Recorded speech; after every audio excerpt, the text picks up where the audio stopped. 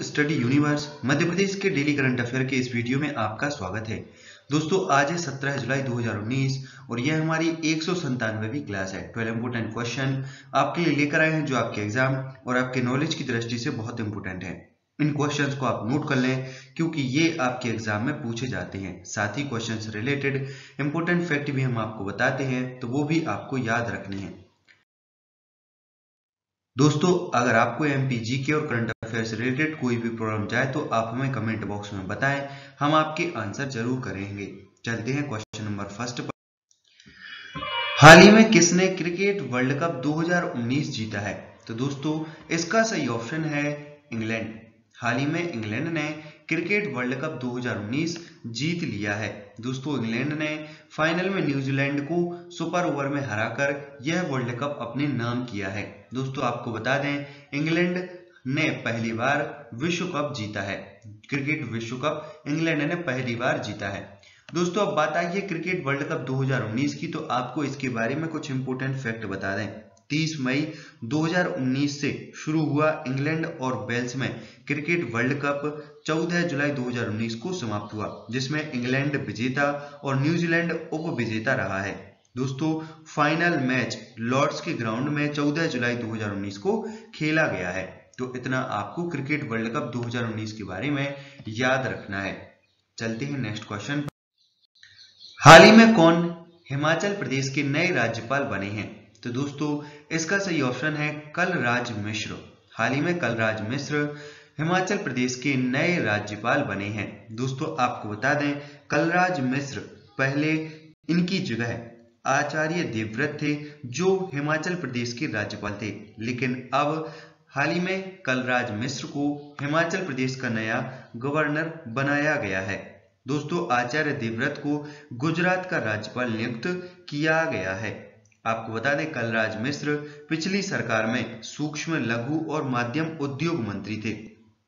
दोस्तों, कलराज मिश्र का जन्म 1 जुलाई 1941 को उत्तर प्रदेश में हुआ था। दोस्तों, ये बीजेपी पार्टी से जुड़े हुए हैं।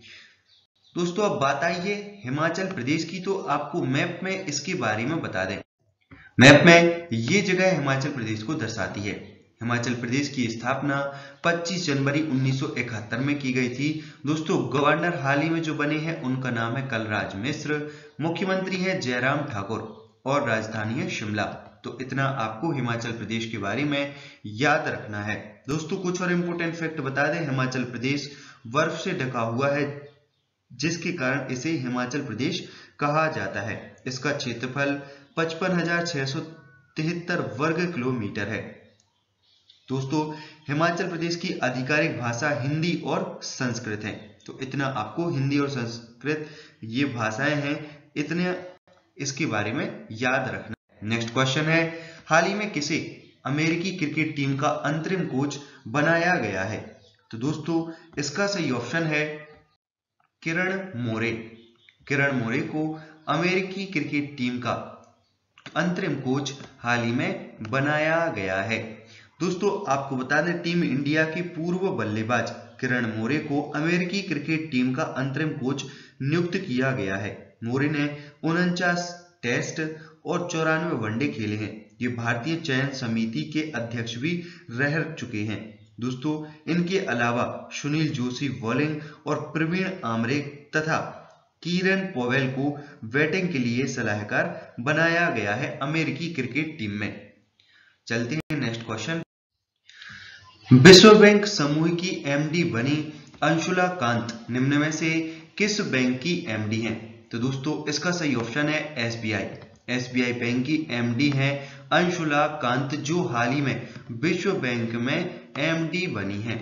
दोस्तों, आपको बता दें, भारतीय बैंकर अंशुला कांत को विश्व बैंक समूह की मैनेजिंग डायरेक्टर और चीफ फाइनेंशियल ऑफिसर नियुक्त किया गया है। विश्व बैंक समूह में यह फाइनेंशियल और रिस्क मैनेजमेंट की ज़िम्मेदारी संभालेंगी।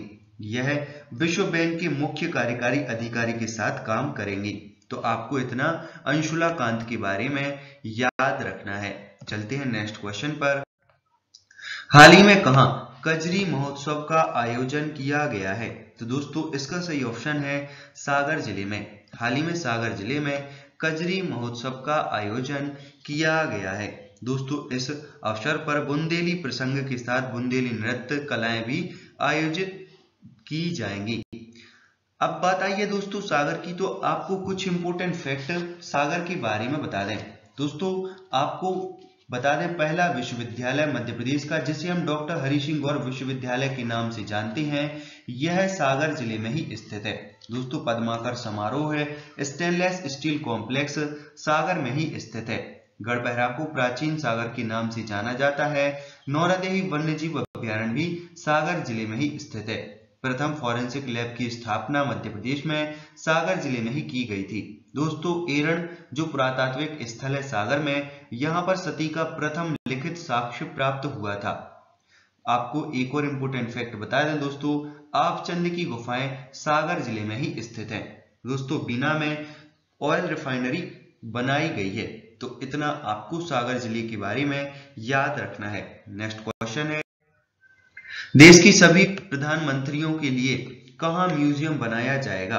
तो दोस्तों, इसका सही ऑप्शन है दिल्ली। देश के सभी प्रधानमंत्रियों के लिए दिल्ली में एक म्यूज़ियम बनाया जाएगा। मार्च तक दिल्ली में देश के प्रधानमंत्रियों पर म्यूज़ियम तैयार हो जाएगा। सीपीडब्ल्यूडी तीन मूर्ति भवन। कॉम्प्लेक्स में करीब छियासठ करोड़ रुपए की लागत से बनाया जा रहा है यह म्यूज़ियम। तो आपको याद रखना है, सभी प्रधानमंत्रियों पर म्यूज़ियम दिल्ली में बनाया जाएगा।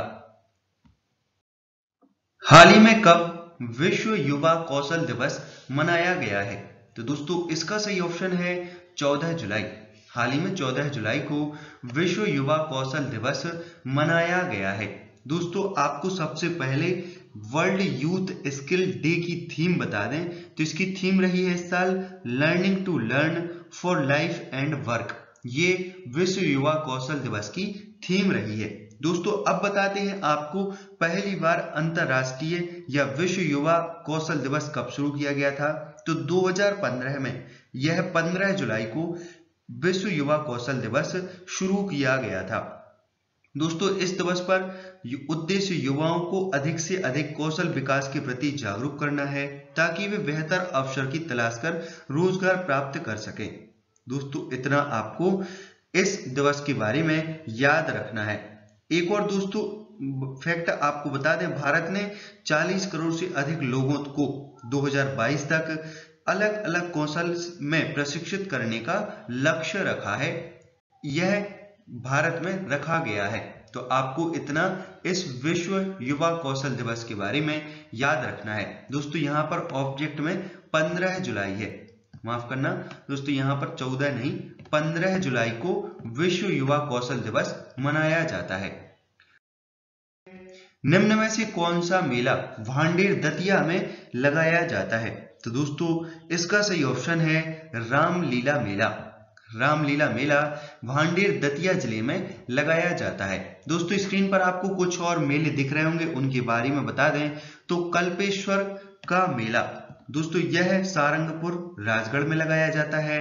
भाट घोघरा का मेला, यह भैरव थान सिवनी में लगाया जाता है। और वहीं हीरा भूमिया मेला यह दोस्तों ग्वालियर और गुना क्षेत्र में लगाया जाता है। तो इन चारों मेलों के बारे में आपको याद रखना है। और दोस्तों मुझे हाल ही में कमेंट आए हैं कि मेलों के ऊपर एक वीडियो बनाए। तो आपको इस संडे आने वाले संडे में मेलों के ऊपर, मध्य प्रदेश में जितने भी मेले हैं, उनके ऊपर एक वीडियो मिल जाएगा। चलते राजा भैया पूछ वाले, निम्न में से किस कला में निपुण थे? तो दोस्तों इसका सही ऑप्शन है सरोद बादन। राजा भैया पूछ वाले सरोद वादन कला में निपुण थे दोस्तों, आपको बता दें, ये ग्वालियर से संबंध रखते थे और इनका जो जन्म हुआ था, वह अठारह ईस्वी में हुआ था। दोस्तों, आपको बता दें, ख्याल वादन में मध्य प्रदेश से जो संबंध रखते थे, उनके नाम कौन कौन से हैं? तो सबसे पहला नाम आता है अली अकबर खां का, जो ख्याल वादन में अपना मध्य प्रदेश से स्थान रखते थे या मध्य प्रदेश से संबंधित थे। इसके बाद दोस्तों ख्याल गायन में जो नाम आता है, वह है शंकर राव पंडित और तीसरा नाम है नारायण राव पंडित। ये सभी दोस्तों ख्याल गायन में मध्य प्रदेश का संबंध रखते थे और इसके अलावा कुमार गंधर्व भी ख्याल गायन में मध्य प्रदेश से संबंध रखते थे। तो आपको इतना राजा भैया और इन सभी के बारे में याद रखना है। दोस्तों, मालवा अखबार किस वर्ष प्रकाशित किया गया था? तो दोस्तों, इसका सही ऑप्शन है 1848 यानी 1848 में मालवा अखबार प्रकाशित किया गया था। दोस्तों, इस अखबार की जो भाषा थी, वह हिंदी थी और इसे इंदौर से प्रकाशित किया गया था। यह हिंदी का पहला समाचार पत्र था। दोस्तों, आपको बता दें 1840 यानी 1840 में मध्य प्रदेश में एक भारत का पहला समाचार पत्र प्रकाशित हुआ, जो अखबार ग्वालियर के नाम से जाना जाता है और इसकी भाषा उर्दू थी और इसका प्रकाशन स्थल ग्वालियर था। तो इतना आपको इन दोनों के बारे में याद रखना है, दोनों अखबारों के बारे में।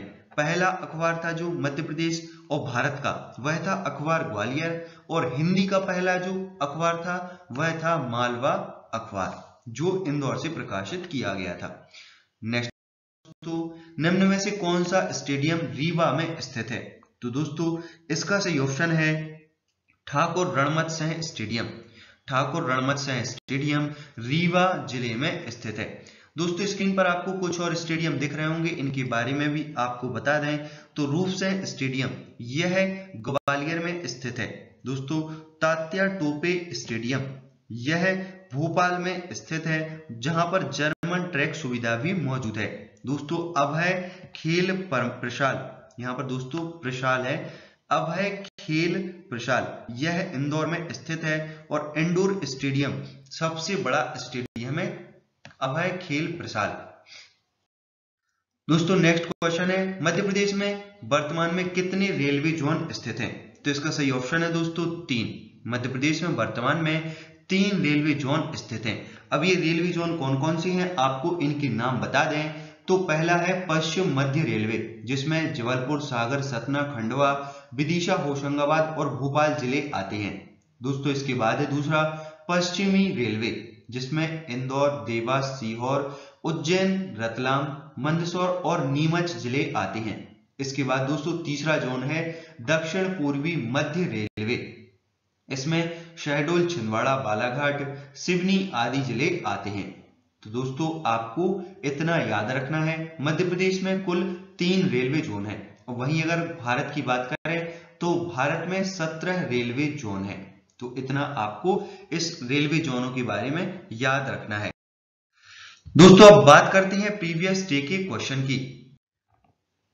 तो दोस्तों, कल का क्वेश्चन था राज्य स्तरीय सुब्रतो फुटबॉल कप कहाँ खेला जा रहा है? तो इसका सही ऑप्शन था दोस्तों छिंदवाड़ा। छिंदवाड़ा में राज्य स्तरीय सुब्रतो फुटबॉल कप खेला जा रहा है। दोस्तों, अब बात करते हैं क्वेश्चन ऑफ़ द डे की। तो आज का क्वेश्चन है, किस ज़िले में, जंगलों में सफ़ेद मूसली ग्लोय, एलोवेरा के औषधीय पौधे लगाए जाएँगे? तो इसका आंसर आप हमें कमेंट बॉक्स में दें, हम आपके आंसर करेंगे। तो दोस्तों, ये था हमारा आज का स्पेशल वीडियो करंट अफेयर से रिलेटेड दोस्तों, आप हमारे चैनल स्टडी यूनिवर्स को लाइक कीजिए वीडियोस को शेयर कीजिए और चैनल को ज़्यादा से ज़्यादा सब्सक्राइब कीजिए। हम कल आपके साथ फिर मध्य के इंटरेस्टिंग फैक्ट को लेकर हाजिर होंगे। तब तक के लिए नमस्कार हैव अ नाइस डे